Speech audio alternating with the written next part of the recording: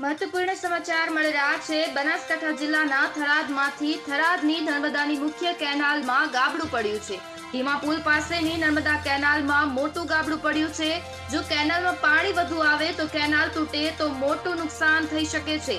નર્મદા નિગમના અધિકારીઓની ઘોર બેદરકારી સામે આવી છે.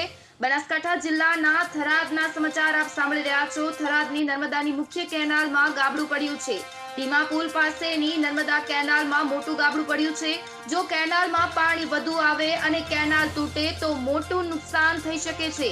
આ બાબતે નર્મદા નિગમના અધિકારીઓની બેદરકારી સામે આવી છે. આપ સ્ક્રીન પર દ્રશ્યો જોઈ રહ્યા છો. થરાદની નર્મદાની મુખ્ય કેનાલમાં ગાબડું પડ્યું છે.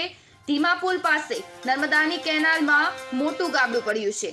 હાલ તો નર્મદા નિગમના અધિકારીઓની બેદરકારી સામે આવી છે, કારણ કે જો કેનાલમાં પાણી વધુ આવશે ને કેનાલ તૂટશે તો મોટું નુકસાન થઈ શકે છે.